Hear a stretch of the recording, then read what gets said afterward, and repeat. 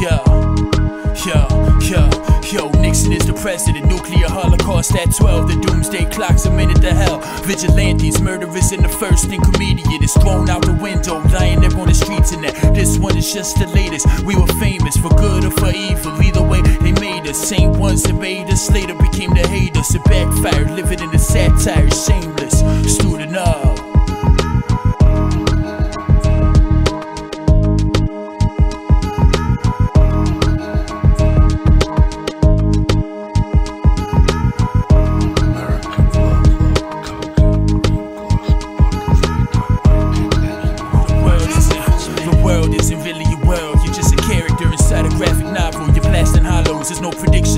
Wrath that follows. Bad guys with savage minds and bitter little hearts. Your life mimics art. I watercolor it. I airbrush it. I smother it if I dare touch it. Tragedy and despair, love it. I can't get me enough of it. To the world, you were just a human. A gothic metropolis like Gotham with danger looming. Escape. All the kids in your city who laughed and never came back from Crystal Lake. Ask your mommy about how you used to be a potty mouth. Now you put your shotty out. Add to the body count. A most orchestrated attack. You have a one way ticket to hell aboard a ghost freighter that's black. You say you're Dr. Manhattan. You travel right through the hours when I ask you what your name is and what are your superpowers.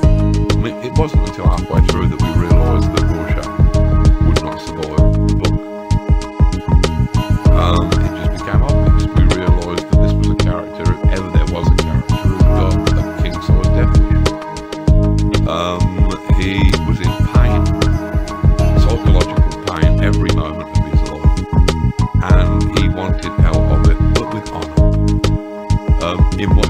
old twisted standards of honour